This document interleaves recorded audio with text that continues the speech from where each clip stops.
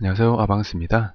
이번 시간에는 어, RPG 만들기 VX에서 음, 간단하게 어, 집을 하나 만들고요. 그리고 집 내부로 들어갔다 나왔다 할 수 있는 그렇게 간단한 이벤트를 하나 만들어 보도록 하겠습니다. 우선은 제가 맵을 이렇게 두 개를 미리 간단하게 하나 만들어 놨는데요. 여기 보시는 이 집으로 처음에 주인공이 들어가게 되겠죠. 입구로. 입구로 들어간 다음에 예, 여기서 뭐 NPC랑 대화를 한다거나 한 다음에 이쪽으로 다시 나올 수 있는 그런 이벤트를 만들 건데 우선은 어, 이벤트 모드로 예, 바꾸신 다음에 클릭을 해서 바뀌었죠. 그런 다음에 여기서 마우스 오른쪽 버튼을 누르면 이렇게 이벤트 간단 작성이라고 예, 화면에 나오는데 예, 잘안 보이네요. 여기서 음, 이벤트 간단 작성이라고 있고 그리고 문의 처리라고 있죠. 문의 처리라고 있는데 이 부분이 어, 문을 간단하게 만들어주는 예, 간단하게 예, 만들어주는 그런 기능인데 어, 그러면 이걸로 한번 만들어 보도록 하겠습니다. 그래서 오른쪽 눌러서 이벤트 간단 작성 문의 처리 이렇게 하면 창이 하나 뜨죠.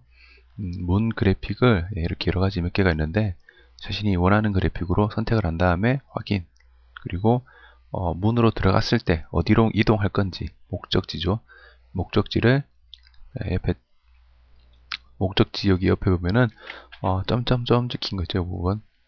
이 부분 클릭하시면 이렇게 자신이 만들어 놓은 맵 목록들이 여기 쭉 뜰 거고요. 그리고 저는 두 번째 맵이니까 두 번째 맵에서 어, 여기가 아니고 여기 한 칸 위에 이쪽으로 음, 이동을 한다.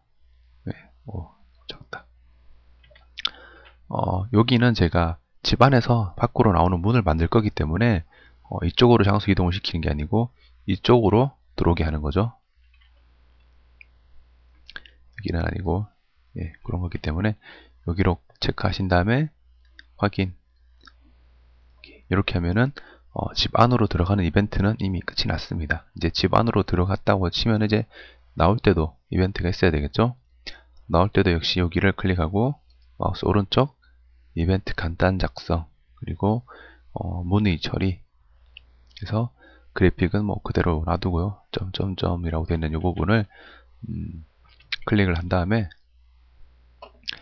어, 이번에 나올 때는 예, 원래 집 안인데 집 밖으로 다시 나와야 되겠죠. 집 앞에서 여기 한 발짝 앞에 문 앞에다가 이렇게 해서 체크만 해 놓으시면 되는데 이렇게 체크, 체크를 한다. 이렇게 네모 박스가 생겼으면은 이게 지금 이쪽으로 장수 이동한다는 표시인데 이렇게만 해놓고 예, 확인 버튼 이렇게 눌러주시면 여기도 문이 하나 생겼죠. 이렇게 하면은 집 안으로 들어갔다가 나왔다가 하는 이벤트가 어, 완성이 되었겠죠. 예, 한번 확인을 해보도록 하겠습니다.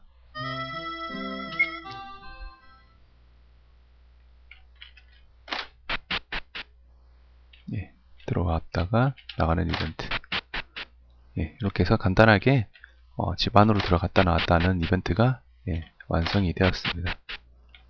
그럼 이것으로 강좌를 마치도록 하겠습니다.